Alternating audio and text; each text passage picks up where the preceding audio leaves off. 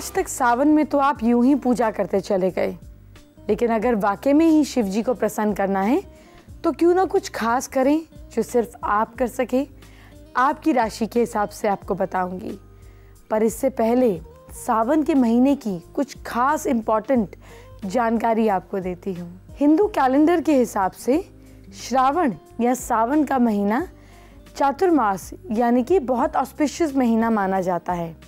इस महीने में आने वाला जो श्रावण सितारे होते हैं, इसके कारण इसको श्रावण मंथ कहा जाता है, श्रावण का मास कहा जाता है। शिव की बहुत ही फेवरेट मंथ में से एक है। इस समय आप देख सकते हैं कि सब मंदिरों में भीड़ लगी रहती है।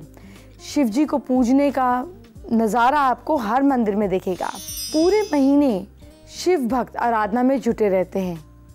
इस महीने में गणेश चतुर्थी, एकादशी, प्रदोष, शिवरात्रि मास व्रत की पूर्णिमा, ये सारी चीज़ें आती हैं और साथ में आती है हरियाली अमावस्या नाग पंचमी रक्षाबंधन।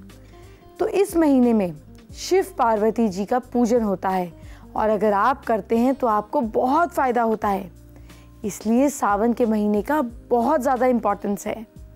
इस महीने में जो कुंवारी लड़कियाँ होती हैं, वो अच्छा हस्बैंड पाने के लिए सावन के सोमवार का व्रत रखकर शिव जी की पूजा करती हैं। तो ये इसकी इम्पोर्टेंस है। लेकिन और क्या क्या खास है, ये भी आपको बताती हूँ। सावन के महीने के पीछे कुछ कथाएँ भी हैं जो बहुत प्रचलित हैं। जैसे देवी सती ने जब पार्वती के रूप में दोबारा जन्म लिया तो इसी महीने में शिव जी को प्रसन्न करने के लिए उन्होंने कुछ नहीं खाया, कुछ नहीं पिया और कठोर तप किया। आज के समय में भी, कलयुग में भी फीमेल्स ऐसा करती हैं, लेकिन तब जब हस्बैंड से कुछ चाहिए हो, पर उन्होंने हस्बैंड को पाने के लिए ऐसा किया। मारकंड ऋषि के पुत्र मारकंडे ने अपनी लंबी उम्र के लिए सावन महीने में घोर तपस्या की और शिव जी की कृपा भी मिली। भगवान शिव सावन के महीने में पृथ्वी पर ऐसा माना जाता है कि आते हैं और अपने ससुराल गए थे। वहाँ उनका जल अभिषेक किया गया था।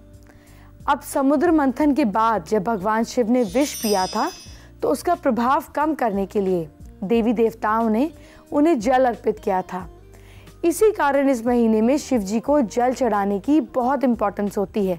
विश मतलब आपकी ज़िंदगी की प्रॉब्लम्स तो अगर आपकी ज़िंदगी में कुछ ऐसी प्रॉब्लम्स हैं, जो अटकी हुई हैं, ना ख़त्म हो रही हैं और ना निगली जा रही हैं, ना उगली जा रही हैं तो ऐसे में शिव जी पर जल चढ़ाने से आपकी प्रॉब्लम से आपको निजात मिलती है।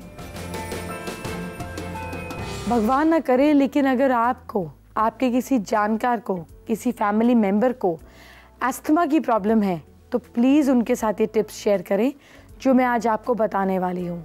किसी का भला करेंगे तो कुदरत सौ गुना ज़्यादा आपका भला करेगी। पर इससे पहले कॉन्फिडेंस कैसे बढ़ाएँ, ये बहुत ज़रूरी बात है, ये जान लेते हैं। वैसे तो इंसान अपना कॉन्फिडेंस खुद बढ़ाता है, लेकिन एस्ट्रोलॉजिकली हम हर चीज़ का शॉर्टकट ढूंढ सकते हैं। तो चलिए कॉन्फिडेंस बढ़ाने का शॉर्टकट बताती हूँ। कॉन्फिडेंस बढ़ाने के लिए शिवलिंग पर कच्चा दूध चढ़ाएँ।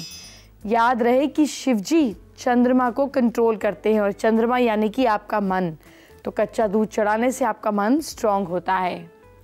मंडे को वाइट कलर की काव को गुड़, चावल वगैरह खिलाएँ। इससे भी आपका मून स्ट्रांग होगा। जब मन स्ट्रांग होगा तो सारी चीज़ पर आपको विजय मिलेगी। संडे के दिन तांबे के बर्तन का दान करें। सूर्य मज़बूत होगा, आप अपनी आत्मिक बल से खुद को जीत पाएँगे। एक काम और कर सकते हैं राइट हैंड की रिंग फिंगर में पाँच रत्ती का अच्छा सा आप माणिक, यानी कि रूबी पहने या तांबे की जॉइंटलेस अंगूठी पहने। ये अंगूठी आपको संडे के दिन सुबह ब्रह्म मुहूर्त में ही पहननी चाहिए। देखिए कॉन्फिडेंस कैसे बढ़ता है। इसके अलावा किसी इंपॉर्टेंट काम पर जाते हैं, किसी इंपॉर्टेंट ट्रैवल जर्नी पर जाते हैं कहीं जाते हैं तो थोड़ा गुड़ खाकर पानी पीकर जाएँ। ये जो सन और मून हम मिला रहे हैं, आपको ज़िंदगी में हारने नहीं देंगे। एक काम और कर सकते हैं कि संडे के दिन नमक का सेवन ना करें।